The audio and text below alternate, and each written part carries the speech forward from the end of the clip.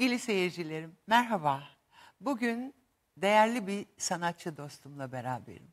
Hem başarılı oyunculuğuyla hem de Türk tiyatrosu için taşıdığı soyadıyla önemli bir isim.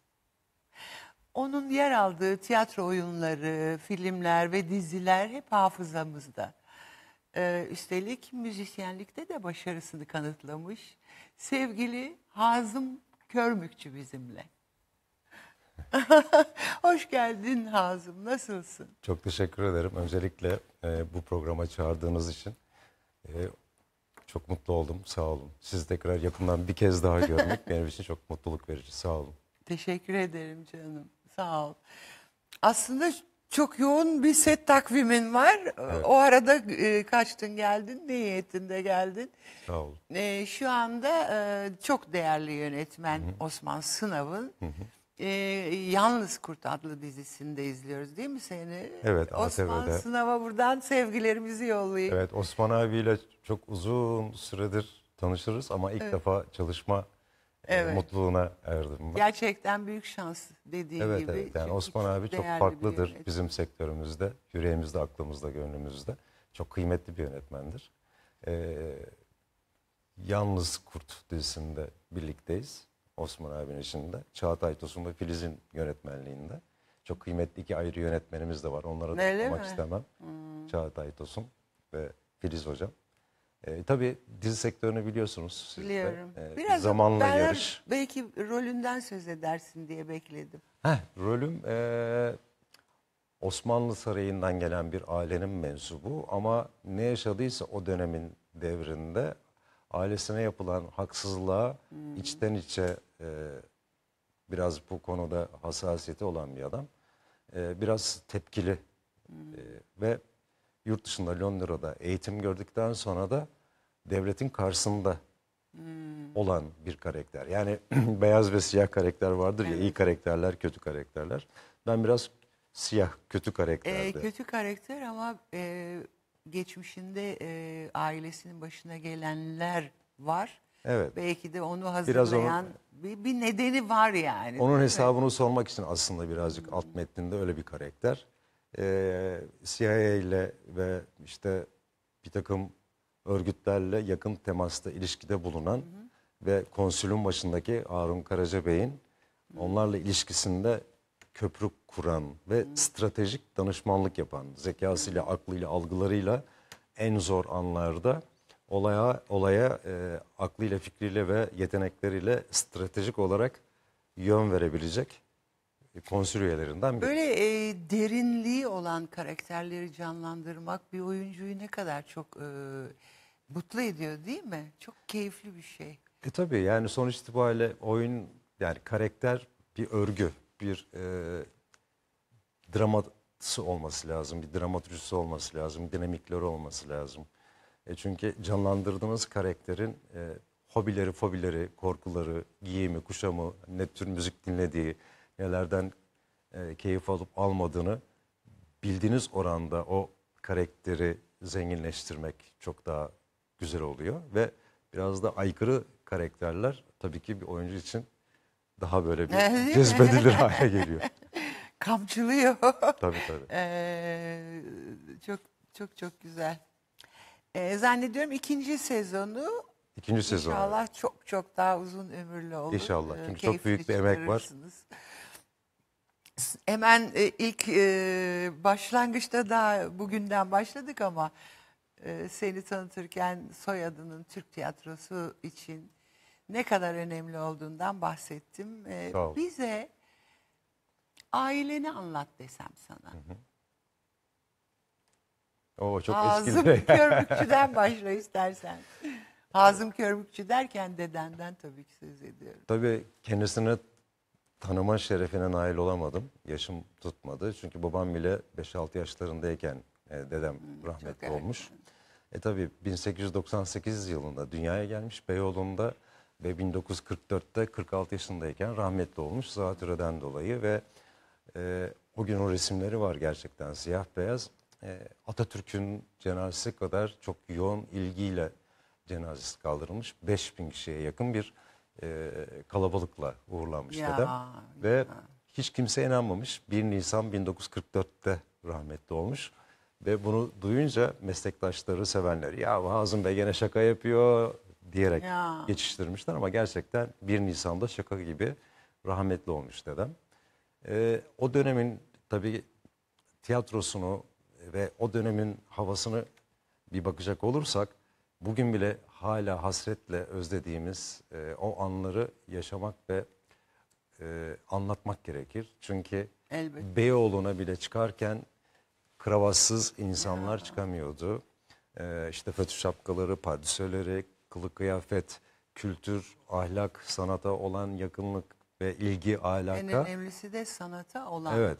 e, ilgi ve de- verilen değer. çok çok farklıydı. E, dedem o dönemlerde yetişmiş. İlk önce tabii ki babası Ali Bey, e, musiki, musiki Hümayun'da, e, Osmanlı Sarayı'nda, e, Topkapı Sarayı'nda ve e, diğer saraylarda solfej hocası olarak görev yapmış. Musiki bilgisini babasından almış. O yüzden müziğe olan yeteneği işte tamburdu, uttu, cümbüştü, Enstrüman onun gibi enstrümanları fevkalade iyi çalabilen bir yeteneğe sahip. Bir de tabii söyleme anlamında da tavır olarak da üslup olarak da makamsal anlamdaki bilgileri de babasından alıyor.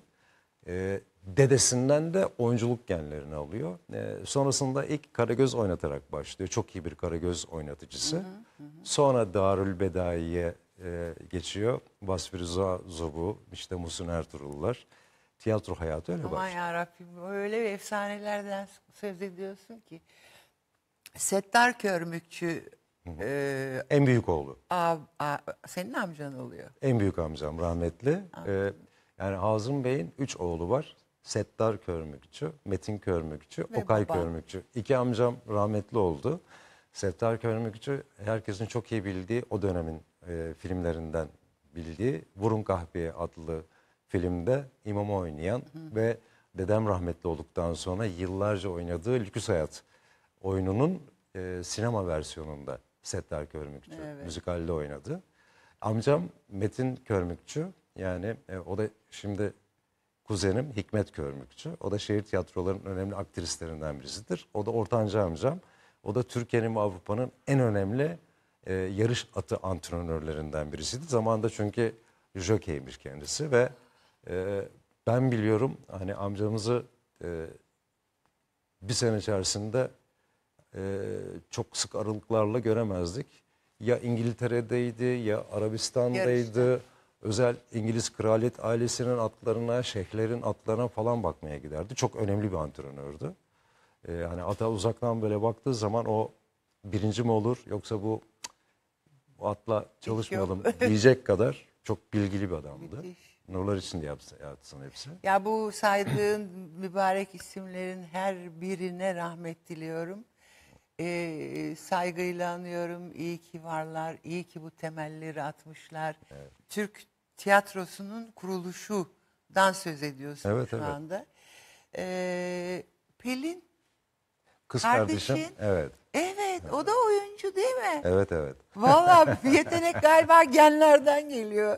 Yani Büyük ihtimal öyle ben ona dededen inanıyorum. babaya, babadan sana müthiş. Yani aslında bakacak olursanız gerçekten böyle bir e, üç kuşaktır. Bu mesleği yapan bir ailenin ferdiyiz. E, Pelin de öyle tabii genlerinde var ve Var, var, aile var. içerisinde bu meslek anlamında da her zaman söylediğim bir şeydir. Beni en çok güldüren kişidir Pelin. Çok çok komedi yanı çok yüksektir. Normal gündelik yaşantındaki yaşantısındaki enerjisi çok fazladır. Enerji çok.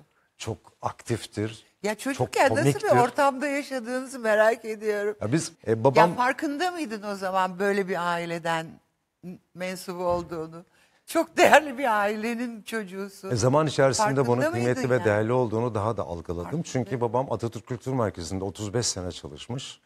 E, çok önemli duayenlerin yanında çalışmış. Cüneyt Gökçer gibi bir yönetmenin e, oyununda çalışmış e, bir kişiydi. Ben de doğal olarak biraz klasik olacak ama işin hakikati o. Öyle. 5 yaşından beri sahnedeyim. Ya. E, Atatürk Kültür Merkezi yani eski Atatürk Kültür Merkezi ve Taksim Venüs sahnesindeki çocukluk yıllarıma gelip dönüp baktığım zaman e, Ankara Devlet Tiyatrosu ve İstanbul Devlet Tiyatrosu'ndaki çok önemli aktör ve aktrislerinin bacakları arasında geçti benim çocukluğum.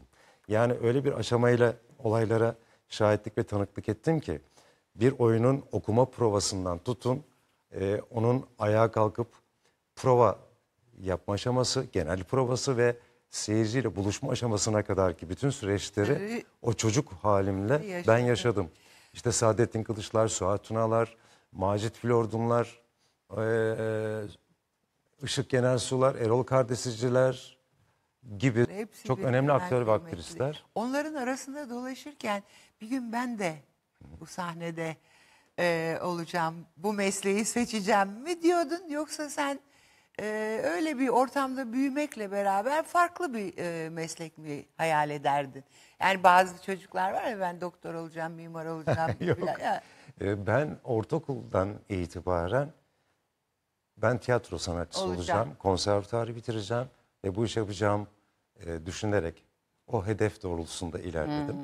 Ama çok yani kara mizah olacak ama işte babam dediğim gibi 35 sene Atatürk Kültür Merkezi'nde çalışmış bir kişi olarak asla benim tiyatro sanatçısı olmamı istemezdi. hadi canım. Evet evet ama haklı sebepleri vardı adamcağızın. Çünkü derdi ki oğlum bak bu meslek çok zor bir meslek. Gecesi yok, gündüz yok. Ay evladına Evet. kıyamıyor. Yani Ay, nankör bir meslek. öyle. Ondan sonra e, o yüzden hani ben senin denizci olmanı, bir kaptan olmanı falan çok isterim demişti ama e, Ama ateş başka öyle bir bir- ateş. Ateş bir kere 5 yaşında itibaren bacayı sarmış ama bir de rol modelin var. E, Dede tabii. Dede tabii Yani. muhteşem bir rol model. Ee, ama yine de e, bu kadar e, bilinen, bu kadar önemli bir e, soyadını taşımak, onunla aynı mesleği yapmaya kalkmak, e, acaba beni yarıştırırlar mı dedemle, amcamla, e, zor- zorlanırım diye endişelerin olmadı mı? Bugün bile Olmuştur. Bugün bile 58 yaşındayım. Hala o sorumluluğu ve o e, aynı ismi ve soyadı taşımanın hem onurunu hem de bir o kadar zorluğunu yaşıyorum. Çünkü Değil mi? dedem gerçekten zamanında e, yapmış olduğu işlerde öylesine çıtayı yükselten bir oyunculuk sergilemiş ki. E, şimdi aynı ismi ve soyadı taşıyan torunu olarak bu mesleği icra etmek beklentileri ister istemez arttırıyor. arttırıyor. Benim e, yaptığım işte kötü gibi ya da başarısız olmak gibi bir lüksüm yok. şansım yok. Yok. Ama şükürler olsun ki tiyatroda e, özellikle e, 86-87'de konservatuardan mezun olmadan önce İstanbul Belediyesi Tiyatrolarına e, seçildim. O da bir şans oldu. Herkesin hayatta bir kırılma noktası vardır, ya. Vardır, vardır. E, benim sınıfımda işte Rüçhan Güreller, rahmetli Erdal Tosun, e, Atilla Şendil gibi çok kıymetli e, Reha Özcan gibi sınıf arkadaşlarım, Mine, Zeynep, devlet tiyatroların önemli oyuncuları ve aktörleri, aktrisleridir. Ben son sınıftan geçtiğim dönemde telefonum çaldı. Kuzenim Hikmet Görmükçü aradı. Azım dedi İstanbul Belediyesi Tiyatrolarından seni arayacaklar. Erol Keskin arayacak. Nurlar içinde yazsın çok Ya. benim için kıymetli bir hocamdı. Büyüğümdü, ustamdı. Ee, ben de hayatımda ilk defa ve ilk defa evimden çok uzak bir noktaya Bodrum'a gideceğim tatile yani. İlk defa göreceğim Bodrum'u. Hazırlamışım işte Çantanı. bir çantamı. Ondan sonra işte otobüs kalkacak ona gideceğim. Telefon çaldı İstanbul Belediyesi Tiyatrolarından. Ee, Erol Hoca telefonda. Hani o zaman cep telefonları falan yok. Yok tabii. Bildiğimiz çevirmeli telefonlar var. Üzeri kırlentli hani olanlar. Her neyse. Ee, telefonda Erol Hoca. Kiminle görüşüyorum ben dedi. Hocam ben Azım Körmükçü dedim. Evladım ölmedim oğlu dedi. Aa. Espri yap. Espri yapıyormuş. Ee, ben torunuyum efendim dedim. Peki dedi sen bugün müsaitsen şehir tiyatrosuna Harbiye'ye bir bekliyorum seni dedi. Peki efendim dedim. Kalktım Harbiye Şehir Tiyatrosu'na gittim.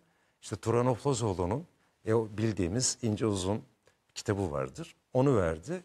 E, 3-4 sayfalık bir tiradı var. Burayı bir oku, etüt et. Ondan sonra hazır olduğunda başla dedi. Harbiye Şehir Tiyatrosu'nun sahnesindeyim. İşte Erol Keskin hocamız seyircilerin en ol dipteki olan yerine gitti. En arkaya gitti. Ben başladım icra etmeye. Tamam evladım dedi. Ben haber vereceğim sana dedi. Peki dedim ben.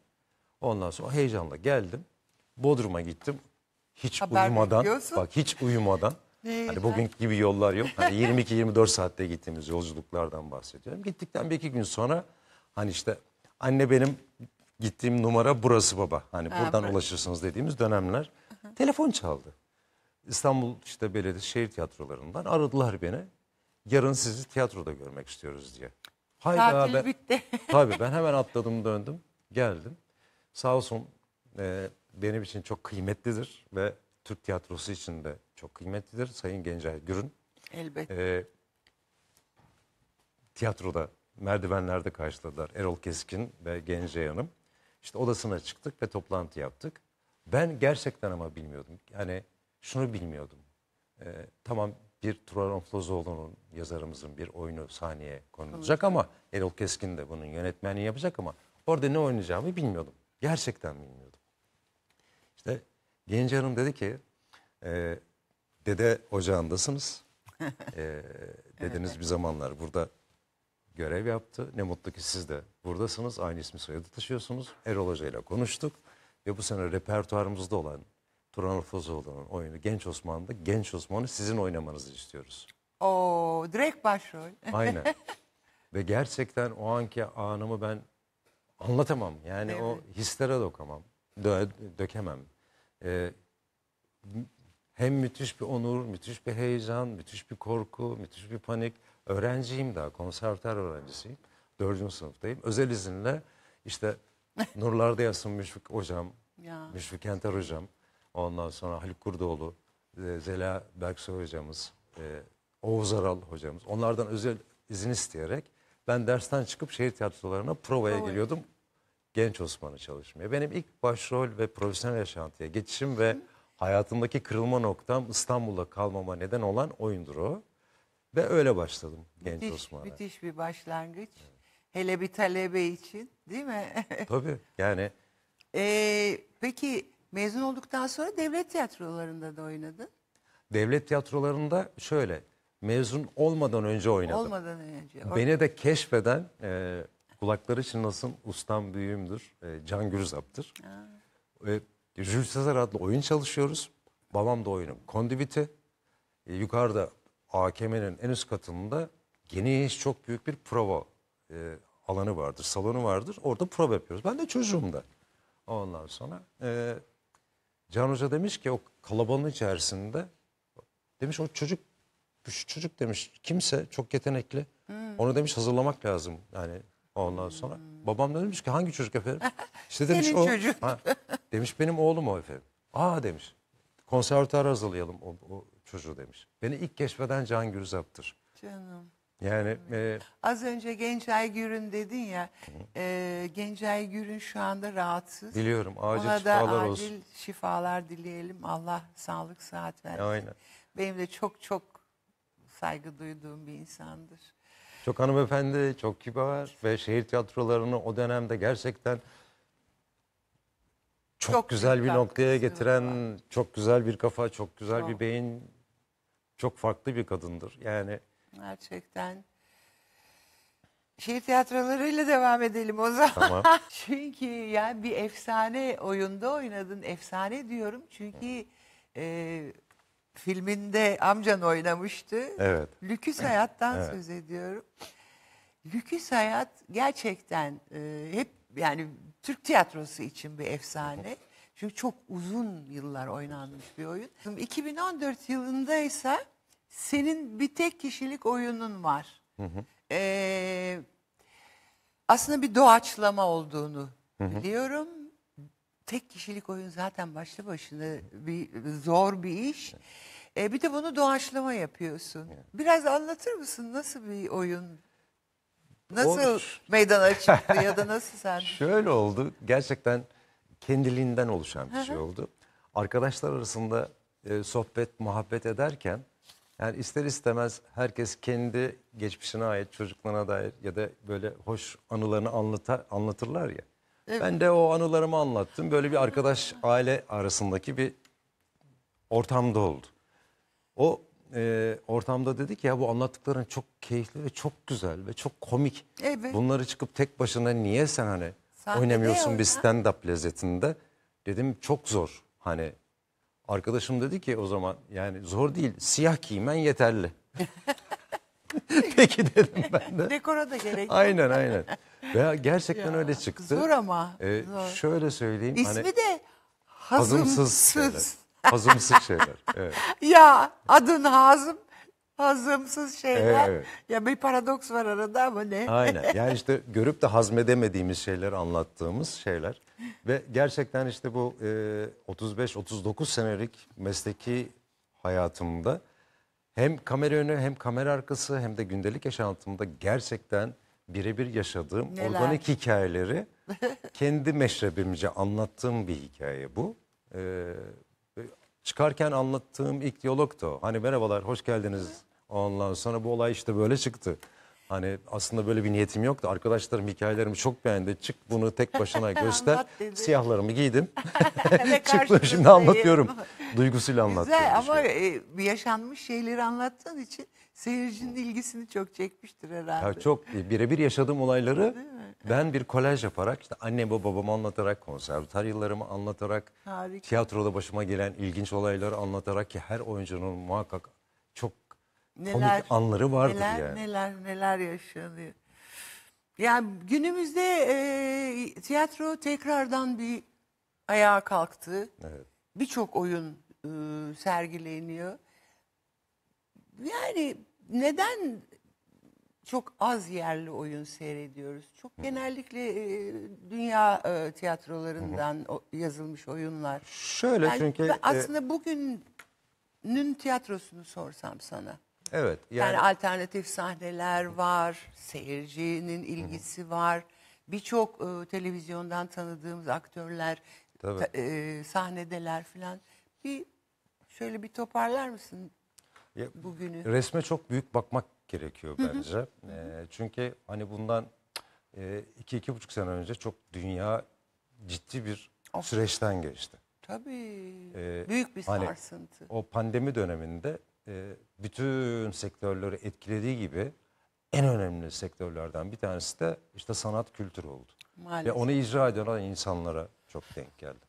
Ve toplumsal olarak da iki sene, iki buçuk sene evlerde kapalı kalmak, normal standart yaşam düzeyimizin dışında farklı bir dünyayla karşılaşmak ister istemez bizi bu pandemi süreci bittikten sonra biraz dışarı çıkıp biraz deşarj olma ihtiyacına da Evet, Psikolojik. nefes almak. E, tiyatronun bu anlamda o e, seyirciyle buluşması anlamında bir iğme kazanmasına önemli nedenlerden bir tanesinden Doğru. birisi de diyebiliriz. Bence de. E, şimdi şuna gelecek olursak e, alternatif çok yetenekli birbirinden farklı e, konseptlerde, hikayelerde işini çok iyi yapan tiyatro grupları, ekipleri var. Ama bir o kadar da ben yakından biliyorum. Hala onun mücadelesi içerisindeyim. Yeni bir tek kişilik oyun çıkartmak için uğraşıyorum. Bakın uğraşıyorum diyorum. Ne- Yani sahne bulmak yani belki zorlanıyor. sahne bulmak çok e, zorlaştı. Bir olayı çıkartmak için e, aman dekoru az olsun, e, Az taşınırken masraf az olsun. masraf olsun, Turnesi- maliyeti az olsun, bıdı bıdı bıdı bıdı yığınla şeyler böyle gelince işi yapılabilir hale getirip seyirciye daha izletme anına kadarki süre içerisinde Yıpratıyor. çekilen ızdırapları, sancıları size anlatamam. Yıp- Çok Ya o kadar zor ki.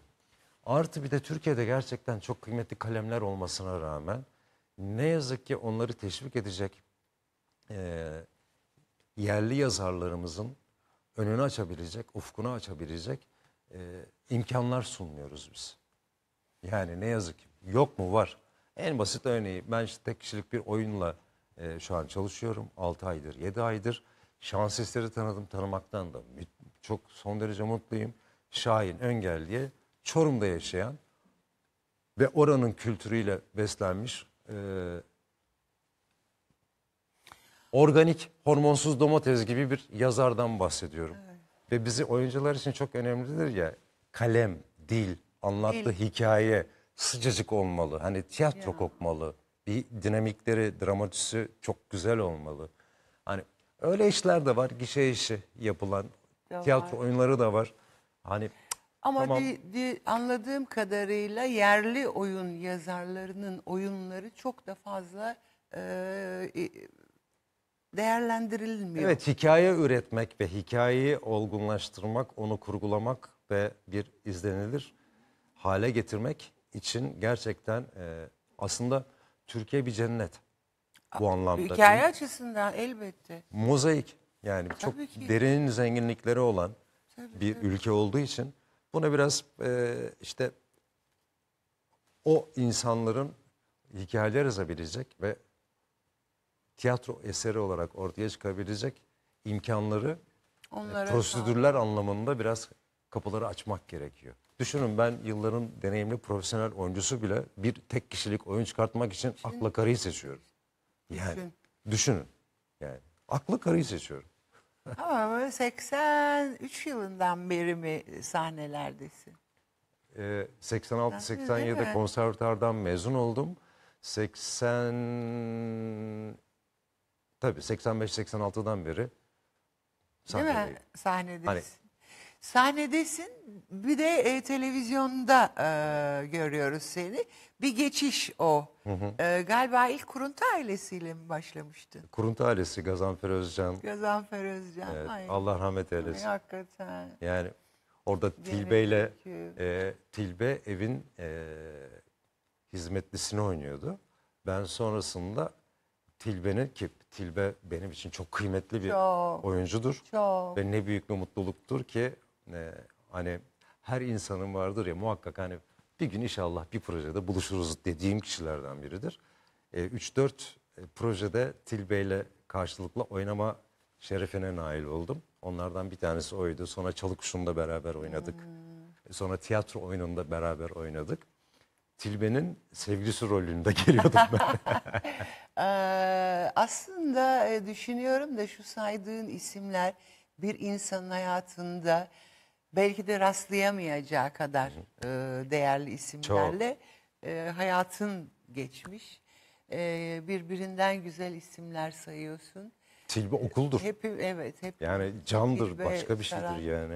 Ba- Yani- Ayrı bir konservatuardır. Gerçekten. Yani ben konservatuarı bitirdim. Çok önemli hocalarımdan eğitimi aldım ama hani profesyonel yaşantıda tilbeyle oynamak başka bir okuldur. Eğitim- öğrenmesini bilene. Eğitimin sonu yok. Yok yok. Her gün bir şey öğreniyoruz değil mi? Hele bir de böyle değerli insanlardan. Kuruntu ailesinden görüntümüz var. Ha, peki. Bakalım o yıllara bir gidelim mi? Teslim oluyorum. Suçumu itiraf ediyorum. Silahım yok. Ama şunu bilin ki bu kızcağızın hiçbir kabahati yok. Suçlu olan benim. Yalan yalan suçlu falan değil o anlattı bana. Adam kandırmış onu. Söylesene. Söylesem inanır mı ki? Kim kandırmış? Canım hırsız eve girmiş mücevherle cam sonra da kaçıp gitmiş. Ben de bekliyordum. Ha şu mesele. Demek hırsıza yardım ediyordu. Yardım etmiyordum. Ya Ben o adamla dün bir kahvede tanıştım. Bana hırsız olduğunu bilmiyordum. Bana dedi ki şu evin önünde dur sana çok para vereceğim dedi. Ben de inandım. ya açık açık söylemiş hırsızlık yapacağını. Babası da hayrına mı girecekti o eve? Sordum. İyi. Vallahi sordum. Bir alacağım vardı vermediler. Onu almaya geldim dedi. Ya sen ya yalan söylüyorsun yahut da çok safsın. Görüyor musun? Adam açık açık söylemiş sana ne yapacağını. Niye gidip polislere anlatmadın durumu? Hırsız olduğunu anlayınca çok korktum. Gördün mü? Şimdi seni hırsız sanacaklar. Tabii o kaçmış kurtulmuş. Şimdi bütün suç senin üstüne. Aynen. Babam yaşında adamdı. İyi. Nasıl da inandım. Hadi geç. Daha görür görmez gülmeye başlıyoruz Gazanfer abi ya. Ne kadar tatlı bir insan. E, yeri doldurulmayacak başka galiba, üstadlardı galiba onlar. yeri hiçbir zaman dolmayacak. Yani o eski o işte o şurada gördüğümüz o sıcaklık, samimiyet Değil hani mi? bu dönemlerde yakalanmaya çalışılan şeyler. Ya, ama e, dediğin gibi yeri de olmaz Yok, bu nerede? insanların. Sonrasında dedem Gofret ve ben Ha Zeki abiyle. değil mi? Zeki abiyle. Ah Zeki abicim hep ya bugün herhalde işte o değerli ustalarımızın, büyüklerimizin ruhu şad olsun diyeceğimiz Vallahi bir öyle. gün. Gerçekten öyle olacak biraz. Evet, evet. Biraz öyle olacak çünkü dediğin gibi e, Dur Yolcu'dan ve e, Dedem Gofret ve benden bir kolaj yaptı arkadaşlarım. Onları bakalım. Necat çok ilgilendi baba. Necat hatırlıyorsun değil mi? Hani tiyatroda. Sonra Hüsnü amca da. Onlara da ne kadar teşekkür etsem azdır. Sana da teşekkür ederim baba. Bana mı?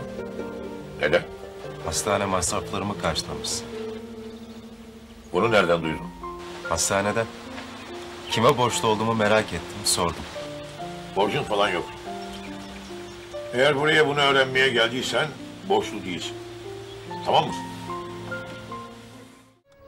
Şey, kumandanım yinem süt gönderdi. Sen benim kumandan olduğumu nereden biliyorsun? Nezaket söyledi. Öyle mi? Ne dedi? Kumandan babam geldi, kumandan babam geldi diye bağırıyor sokakta. Adın ne senin bakayım? Muzaffer kumandanım. Ben de askere gideceğim. Babam gibi şehit olacağım. Bu kumandanım hayalet. Geceleri çıkıyor ortaya. Dört kişiyi vurdu şimdiye kadar. Sen de seyrettin öyle mi? Bak çavuş burası sana emanet, cephede bize. Sen burada eşkıyaya dur diyemezsen yarın eşkıya cephede bizi arkadan vurur. Sen Osmanlı neferisin. Hayalet de olsa, cin de olsa. Böyle doluyor. Bugün Ay, bile ay. oturup seyredeceğiz bunları. Ee, gerek tiyatroda gerek sinemada gerek televizyonda birçok karaktere hayat verdin. Ya bu canlandırdığın karakterlerin içinde seni böyle en çok zorlayan ya da en çok heyecanlandığın ya da iyi ki yaptım dediğin rolün hangisi hatırlıyor musun? Tiyatro adına şunu söyleyebilirim. Ee, gerçekten konservatuardan dediğim gibi Müşfik Hoca, Zeliha Hanım, Oğuz Hocam ve diğer önemli hocalarımdan eğitim almış olmama rağmen e, sonrasında profesyonel yaşantımda gene Gence Hanım'ın yönetmenliğinde Amerikalı yazar Lily Kistler'ın Orphans adlı bir oyunu oynadık biz. Yetimler. Ama biz onu Çıkmaz Sokak Çocukları olarak Aa, değiştirmiştik. evet, tabii o da var. Kamuran Usler, ben ve Yıldıray Şahin'le beraber oynamıştık. Üç erkek ve iki buçuk sene kapalı gişe oynadık. 14 kere seyreden seyircimizin yüzde lig oranı yüzde 15, yüzde 20'lerdeydi. Hatta Tek- TRT, tekrar, tekrar. TRT gelip onlarla röportaj yapmıştı.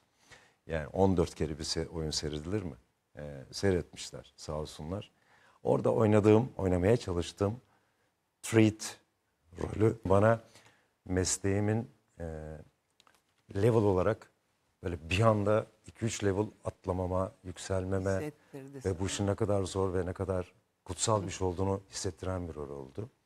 E, Kamuran abinin de tabii ki burada hakkını hiçbir zaman Yani karşındaki aktör de önemli. Çok. O alışveriş var ya o hani göz göze e, müthiş bir şey. Kamuran abi dev oyunculardan bir tanesiydi. Çok. Yani Allah rahmet eylesin benim manevi babam gibiydi zaten. E, ondan da çok öğrendim. O da bir okuldu. Hani Tilbe, işte Kamoş. Biz hep Kamoş derdik aramızda Kamuran'a. E, o oyun gerçekten çok önemli bir oyundu benim için. E, Gence Hanım e, abi kardeşi re, yani e, karakter olarak şöyle yorumlamamızı rica etmişti. İki tane kedi. Kedi. Kedi. Ama birisi ev kedisi, birisi Ve sokak, kedisi. Ben sokak kedisini oynuyordum. hani kedi ama Evet. ne zaman kık yapacağı Belli, belli, değil. olmayan. İçsel, çok psikolojik derinliği olan bir Ah, roldü. işte. Ve çok güzel bir roldü. O beni çok etkiledi ve Genç Hanım'a da söylemiştim bunu ve çoğu kişi de bana bu anlamda birazcık böyle kızmış da olabilir. Ee, teklif edilen rolleri beğenmiyordum. O Bunun kadar üzerine değil, Evet, bunun o kadar güzel bir hikayesi ve kurgusu vardı ki oyunun Çıkmaz Sokak Çocukları oyunun ve oynadığım rolün. Sonrasında gelen tiyatro oyunlarını cık, nedense Ah, hani- hepimizde oluyor bu. Öylesine bir, bir çıtayı yükseltiyorsun ki kendi adına. E artık onu da aşmak istiyorsun. Evet. O karşına çıkmayınca da çok büyük bir hayal Aynen, aynen. kırıklığı ve bir küskünlük falan başlıyor. E, herhalde herhalde bir gün belki de hayalini kurduğun bir rol vardır. Onunla e, karşılaşacaksın diye Evet. ümit ediyorum. Var mı öyle? ben şeyi çok Şu seviyorum. olsa iyi olacak diye hayal Bıçak ettim. sırtı e, okuduğumda eyvah yandık diyeceğim karakterler beni çok Değil mi? böyle Değil mi? Evet. Yani ediyor. oyuncu istiyor ki zorlansın. E, aynen. Değil mi? Yani her şeyden önce kendimize kendimizi ispat etmek gibi bir şeyimiz var. Ee, nasıl anlatayım sancımız var. Evet. Ee, yine dizilerden devam ediyorum şimdi. Ee, bir zamanlar Osmanlı Kıyam, Evet. Filinta. Evet. Değil mi? O ikisi de tarihi dizilerdi. Dönem filmler evet. Değil mi? Evet. Ee, onlardan da görüntülerimiz var. Orada da çok farklı, iki farklı karaktersin. Helvacı çırağı İbrahim.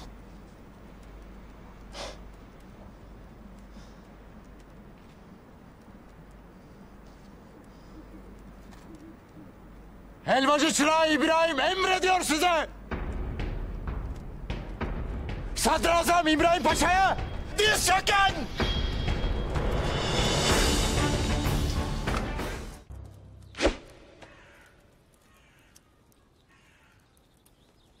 Sen ne cüretle benim sözümü kesersin?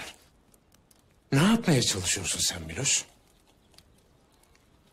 Öldür beni Akbar. Ya öldür ya da meclisimizin önünde onurumu çiğnemekten vazgeç. Kibirlenme Miloş, kibirlenme. Şimdi seyredince dizileri tekrar seyretme imkanı bulduğumuz zaman daha da e, enterese oluyoruz. Çünkü o ilk gösteriminde belki o heyecanla kaçırdığımız sahneler oluyor. Seyirci adına konuşuyorum. Bir daha seyredince aa ya tabii ya filan dediğimiz şeyler. E, sinemadan söz edelim. Sinema senin için ne ifade ediyor? Aha, hmm. Tiyatro tiyatro anladık tiyatro. E, sinemanın çok daha başka bir evrensel bir dünyası var ve çok daha kalıcı. Yani e, dünyaya açılabiliyorsunuz orada ve Ya. e, Ve kalıcı çok daha dediğin kalıcı. gibi. Yani e, bence de çok daha özen gösterilmesi gereken e, görsel sanatların branşından birisi sinema. Değil mi? Ve hani yıllar geçse de Ve işte yine- o tozlu raflarda bir gün alıp Evet. seyredebileceğin Ve e, güncelliğini de korumuş Ay, evet, olması evet, evet. gerekiyor. Senin ilk e, Ölümüne Sevda adlı filminden görüntümüz var. E, öyle başlayalım. Sonra tabii birçok sinema filmin var.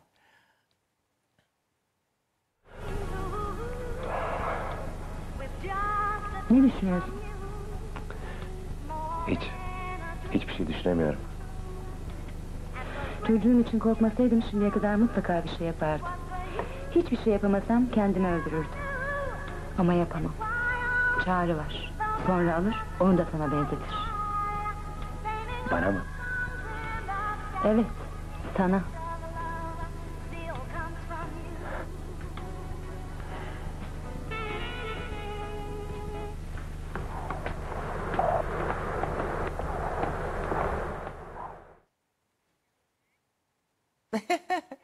Kadar gençmişsin diyeceğim Sağ ama şimdi de gençsin zaten. Ne, Sağ olun, O günleri hatırlayınca neler hissettin?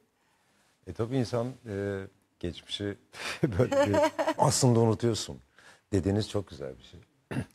hani belli bir zaman geçtikten sonra böyle kıymetli sizin gibi bir programda bunları görünce ya diyorsun ki ya zamanında ben bunları yapmışım. Bazen unutuyorsun da. Değil mi? Hani o kadar çok şey içinde bulunuyorsun ki tabii e, güzel anlar. Güzel. Ben, ben şöyle bakıyorum meseleye. Her ne iş yapacak olursak yapalım e, anı biriktiriyoruz. Yani şu an bile benim için çok kıymetli gözlerinizin içine bakarak burada olmak Aa. bir anı biriktiriyoruz şu an. Değil mi? Hani yıllar sonra geçtiğinde hatırlayacağız. e, anı anık oluyor yani. Evet. Önemli olan o. Ee, sonrasında Taş Mektep var. Evet. Kod adı Koz. Kod adı K-O-Z nasıl açılımı onun? Kod adı Koz. Aa, kod adı Koz. Çok enteresan. Benim çok sevdiğim bir e, filmde oynamıştın sen. Daha önce konuğum olmuştu. E, Altan Dönmez. Taş Mektep. Ha Taş Mektep. Taş Mektep. Ha, Altan Dönmez yönetmen çok kıymetlidir. Çok, severim Altan'ı da. Aa, Evet. Ha, Taş Mektep. Çok e, böyle içini cızlatan e, bir hikayesi var. E, tabii. Sakarya Meydan Muharebesi. Tabii. 16 yaşında 63 tane gencin Hikayesini anlatıyor aslında orada. Çok etkileyiciydi. Ben filmi hatırlıyorum. Ee, Ondan görüntümüz yok ama orada canlandırdığın karakterden belki söz edersin. E, orada götürülen getirilen malların başında olan bir karakterdi. E, ve işte yardımcı oluyor sevkiyatlara. Onun başındaki patronlardan birisiydi. Yani hizmet edenlerden bir tanesiydi. Beykoz Kundura'da çekmiştik. Hmm. E, pilotoda hiç unutmuyorum. Aklıma kalan tek şey o zamanlar çok e, popülerdi. Halit'in bindiği o gene tarihi bir dizide başrol oynadı. Padişahlardan bir tanesi. Onun bindiği atı getirmişlerdi. Hani onu görünce Halit nerede diye sormuştum. o ata binmiştim orada. Çok güzel ya. Ee, son yaş yaptığın işlerden biri e, Akif. Evet, Mehmet Akif Ersoy'un İstiklal Marşı'nı yazma sürecinin anlatıldığı tarihi bir film o da. Ee, dikkat ettim bir, çok tarihi filmde oynamışsın bu Evet arada. denk da. geldi evet evet. Ama bu, bu film galiba senin için e, bir özelliği var. E tabii milli duygularımıza e, hitap eden bir işin içinde olmak, o süreci İstiklal Marşı'nın sözlerinin yazılma aşamasındaki o dönemin içindeki sancıların içerisinde bir oyuncu olarak ona nefes tutmak Değil mi? olmak hani e, referans anlamında o işin içinde olmak anlamında hani gururla söyleyebileceğim bir şey. Hani Mehmet Akif Ersoy'un İstiklal Marşı'nın yazılma e, Aşamasında aşamasındaki o filmin içinde ben, ben de de vardım. vardım dedim. Bir, işte bir meşale olmak, bir e, ışık olmak bizim için kıymetliydi. Ne güzel. Senin oldukça hakim olduğun bir bambaşka bir alandan da söz edelim değil mi? Müzik. Evet. Böyle As evet yani bayağı ciddi ciddi e, müzik tutkusu olan bir insansın Evet. ve bilmiyorum ne zamandan beri Çocukluğumdan ney beri. çalıyorsun.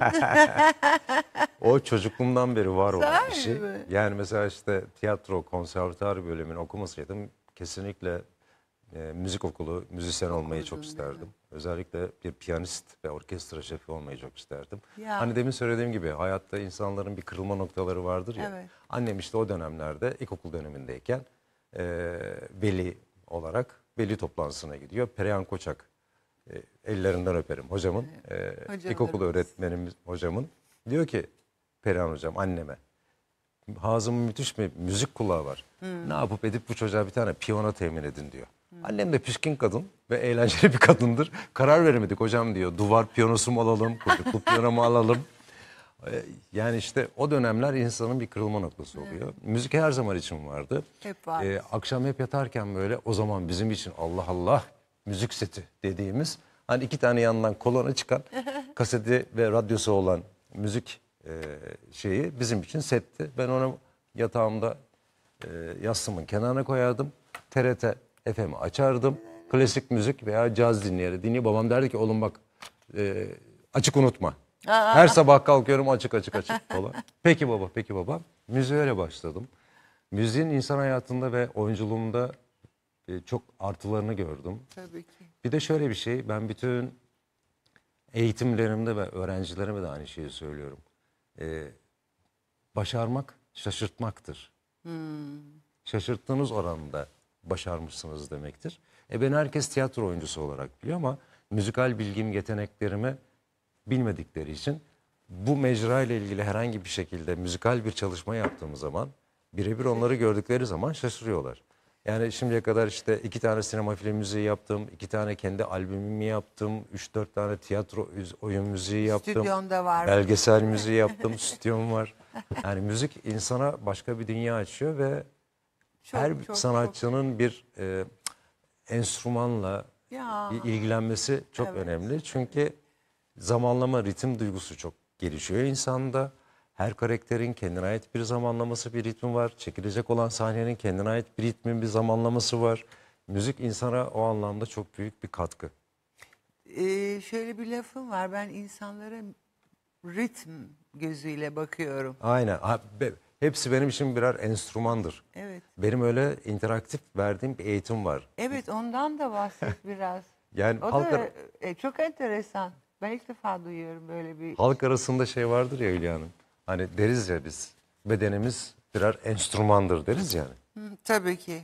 Oradan yola çıkarak Çıkara- benim dersimin interaktif eğitimimin adı şu. Müsaadenizle sizi çalabilir miyim? Çok şeker. Evet, hiç enstrüman- Madem bir enstrüman E, tabii. olarak görüyorsunuz. Ben hiç enstrüman kullanmıyorum çünkü kendi bedenimiz enstrüman. Hani bedenimizde o kadar farklı noktalarda, farklı şekillerde dokunduğumuz zaman sesler çıkıyor ki. E, bütün kurumların, holdinglerin, şirketlerin, büyük ölçekli ekiplerin ihtiyacı olan şey nedir? Takım, takım ruhu oluşturmak. Evet tabii. E, takım ruhu oluşturmanın farklı bir e, farkındalık yolu açarak ben onları öğretiyorum. Bedenimizi enstrüman gibi kullanarak. Hani 50 kişi, 100 kişi, 200 kişi, 500 kişi olsun benim için fark etmiyor. Onları farklı gruplara bölerek ve biraz yarı stand-up lezzetinde Hmm. sunarak öğretisi çok farklı. Çünkü beyin, akıl orada kalıyor. Bir zamanlama içerisinde oluyorsun. İsmini bile sorsalar ki defaten çok yaşadım bunu. hani çünkü bir grup şunu yapıyor diyelim ki 50 kişi bunu yapıyor. Hani o bunu yapan gruba isminiz neydi diye sorsam hani çünkü o bir temponun içinde E, gittiği için kendi- bir de bunu yaptığı için çok gördüm ismini havada yakalayanı. Kafa boşalıyor. Bir kere müthiş bir meditasyon gibi bir şey. İnsanlar mutlu olduğu zaman endorfin salgılıyorlar. Ve birbirini dinlemesini ve balans oluşturmayı öğreniyorlar. Hani biz istersek burada gürültü de yaparız birazdan diyorum. Ama dinlenebilir. Herkesin birbirini dinlediği ve bizi de dinleyebilecekleri bir sound, bir ambiyans da ortaya çıkartabiliriz. Müzikal bir şey yapabiliriz. Ne yapacağız? Kendi bedenlerimizle yapacağız. Yani Bunun bir adı var mı? Bu- body percussion. Body percussion. Ben bunu e, hem oyunculuk bilgilerimle hem de müzikal bilgilerimle bir araya getirerek farklı bir sunum tekniğiyle birebir interaktif Çok enteresan. e, tabii. Gerçekten çok farklı. çok mutlu oluyorlar ve Harika. ast üst ilişkilerinde bir balans tutturmayı öğreniyorlar. Çünkü bizde şey var ne yazık ki tez canlı olduğumuzdan mıdır nedir birbirimizi dinlemeyi çok bilmiyoruz.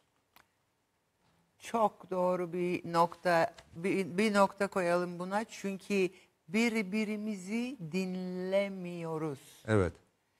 Birbirimizi dinlemediğimiz zaman birbirimizi nasıl anlayacağız? Balans tutmuyor işte. Tutmuyor. Aynen. Tutmuyor. Aynı anda aynı e, sen de konuşuyorsun ben de konuşuyorum. Yok. Demek ki birbirimizi duymuyoruz. Gürültü oluyor işte o Hülya. o kuru gürültü. Ben diyorum ki gürültü yapmayalım. Birbirimizi dinleyebilecek o sabrı gösterelim.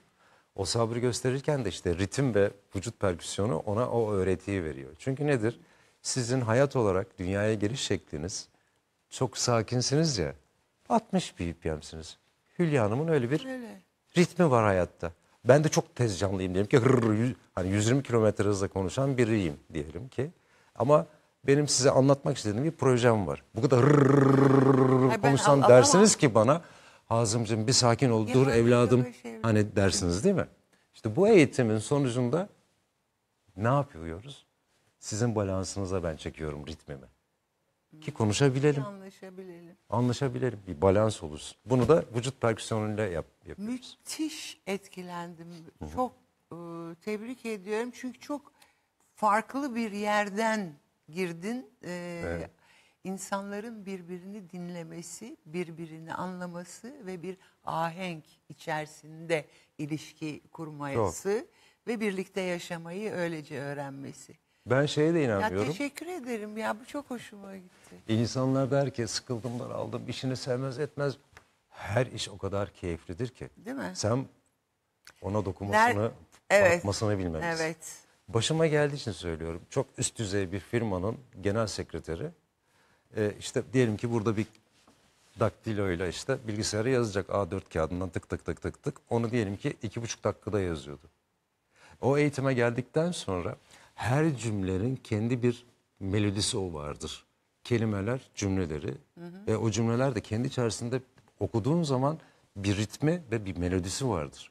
O derste onu da görüyor. O farkındalığa da varıyor benim dersimde. O zaman ne oluyor? Onu öyle okuduğu için hem hızlanıyor. Çıkıdak tak tak tıp. Tık tak tık tak tırırık tırırık tık. Çıkıdık çıkıdık çık. Ta ta ta ta ta. Çıkıdık çıkıdık çıkıdık çık. Ta ta ta ta tıkıdık tıkıdık tık tak tak. Cüm- cümleleri şimdi- melodik olarak. Ha, ritmik e, olarak okuduğu için çok daha keyifli bir hale geliyor yaptığı iş. 12,5 dakikada değil de işte 15 saniyede 20 saniyede bitiriyor. E zaman kalıyor. O zaman ne yorulması ne sıkılması. Her işin kendine ait doğru kullanılmayı bekleyen bir zamanlaması vardır. Ve güzel bir enerjisi var ve her iş keyiflidir bence. Değil mi? Ben onu öğretmeye çalışıyorum. Ay harikasın. Ay çok hoşuma gitti. İyi ki geldin Nazım. Çok teşekkür ederim. Ben teşekkür ederim. Ne demek? Çok onurlandım. Çok mutlu oldum. Benim için çok kıymetli bir programdı ki bu çok uzun zamandan beri ben hiçbir programa katılmıyorum ama sizin adınızı geçirince ne demek? Çok mutlu oldum gerçekten. Ee, seni tanıdığım günden beri e, hep e, severek e, seni izledim. E, bugün de bu kadar yakından seni tanımak beni çok mutlu etti. Sağ olun, teşekkür ederim. Benim için de öyle. Sağ olun. Allah yolunu açık etsin.